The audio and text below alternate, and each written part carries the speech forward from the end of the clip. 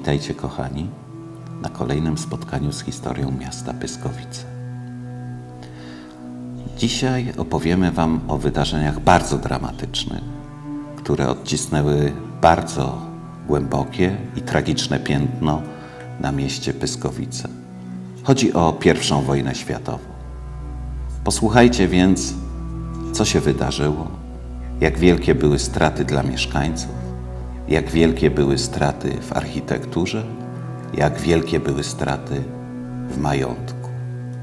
Pierwsza wojna światowa i Pyskowice.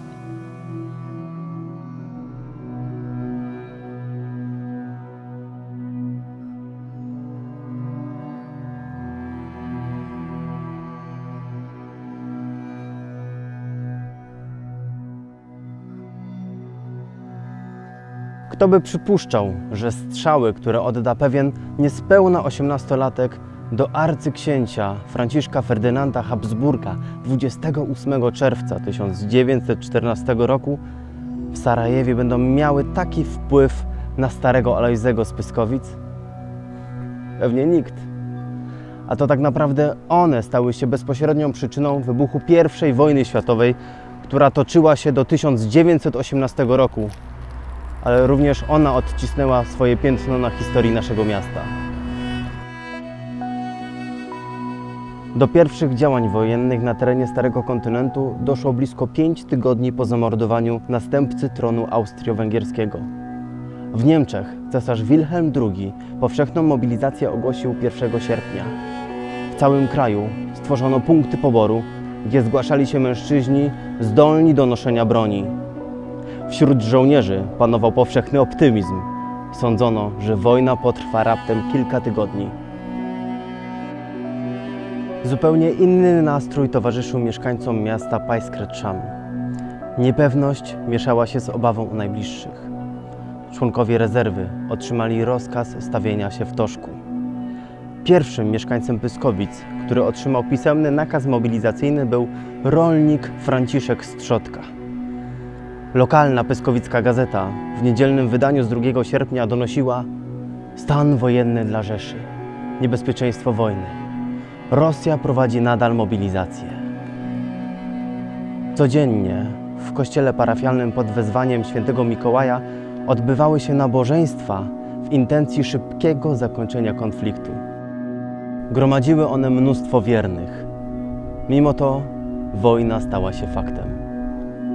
Pierwszymi ofiarami wojny wśród Pyskowiczan byli Johann Gemander i dwudziestoletni oficer Helmut Gerlach. Druga połowa roku 1914 przyjęła w mieście postać wielkiego chaosu. Ulicami zmierzali żołnierze na front. Część z nich kwaterowała m.in. na plebanii. Wiele gospodarstw podupadało, bo na roli zostały same kobiety i starcy. Ubożeli rzemieślnicy, bo wszystko, co wartościowe, zabierała armia. Ceny galopowały w górę. Ale równocześnie organizowano akcje dobroczynne. W hotelu Meyer zbierano żywność, ubrania, zabawki dla dzieci.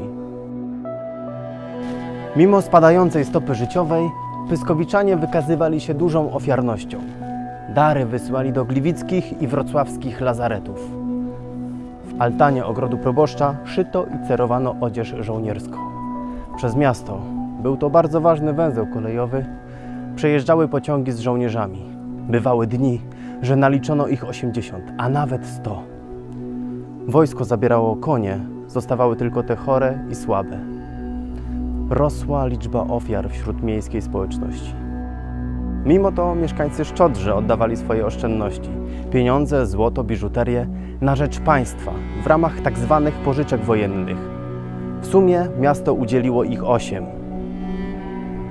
Do wojska powoływano coraz starszych mężczyzn. I to nie tylko wspomnianego Alojzego, miejscowego rolnika, ale również nauczycieli i prawników. Brak mężczyzn, którzy walczyli na frontach, przyspieszył emancypację kobiet. Zatrudniano je przy pracach, które wcześniej były im obce. 25 kobiet zatrudniono na przykład w charakterze konduktorek na kolei. Niezwykły przebieg miała uroczystość komunijna dzieci w 1915 roku. Udział w niej wzięli przebywający w mieście jeńcy rosyjscy, którzy zaśpiewali w swoim języku pieśń Boże, zmiłuj się nad nami. Pod koniec wojny strasznie dokuczał głód. Praktycznie nie jadano mięsa, a żywność wydawana była na kartki. Zabijano bydło i zwierzęta pociągowe, bo brakowało dla nich paszy. W miejsce ziemniaków propagowano brukiew. Prasa zalecała odstrzeliwanie wron. Przy obecnym braku pożywienia tysiące kilogramów mięsa, które w postaci wron latają w powietrzu bezużytecznie, mogłyby mieć istotne znaczenie dla odżywienia narodu. Rok 1918 był ostatnim rokiem wojny, ale również ostatnim rokiem istnienia Cesarstwa Niemieckiego. Do niebotycznej skali rosła inflacja. Gotówkę przyjmowano niechętnie. Kwitł handel wymienny, a wraz z nim spekulacja. Pyskowiczanie skarżyli się na przyjezdnych, którzy wykupywali wszystko, co się dało. Także dla nich już nic nie zostało. 11 listopada w wagonie sztabowym w Kąpień podpisano zawieszenie broni. Wojna przyniosła kres epoki królów. Austria, Niemcy, Turcja czy Rosja stały się republikami, podobnie jak większość krajów Nowej Europy.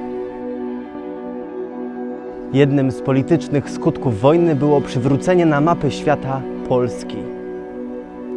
Przed wejściem do kościoła parafialnego kamieniarz Rosę postawił kolumnę maryjną poświęconą pyskowickim ofiarom wojny. Naliczono ponad 100 poległych parafian.